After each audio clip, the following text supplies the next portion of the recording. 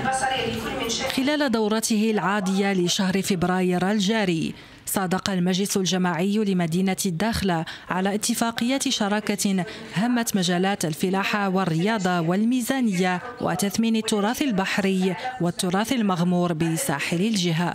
وفي بداية هذه الدورة جرى تقديم عرض حول الحصيلة السنوية لمنجزات المجلس خلال سنة 2022 بعد ذلك تدارس أعضاء المجلس وصادقوا على اتفاقية شراكة مع وزارة الفلاحة والصيد البحري والتنمية القروية والمياه والغابات من أجل إنجاز مشاريع لتسويق المنتوجات الفلاحية بجماعة الدخلة كانت فرصة من أجل أنه يتم مناقشة مجموعة من الاتفاقيات اللي كتهم الساكنة.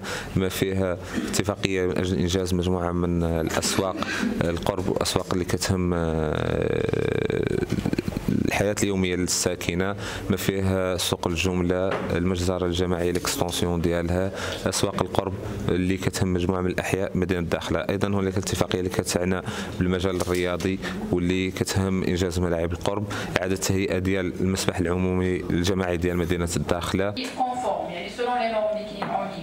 المجلس الجماعي لمدينة الداخلة تدارس كذلك وصادق على اتفاقية شراكة مع وزارة التربية الوطنية والتعليم الأولي والرياضة تتعلق بإحداث وتأهيل المرافق الرياضية بمدينة الداخلة كما تدارس أعضاء المجلس وصادقوا على مشروع اتفاقية مع جمعية السلام لحماية التراث البحري ووزارة الشباب والثقافة والتواصل قطاع الثقافة حول حماية وتثمين التراث البحري والتراث المغمور بساحل جهة الداخلة وادي الذهب.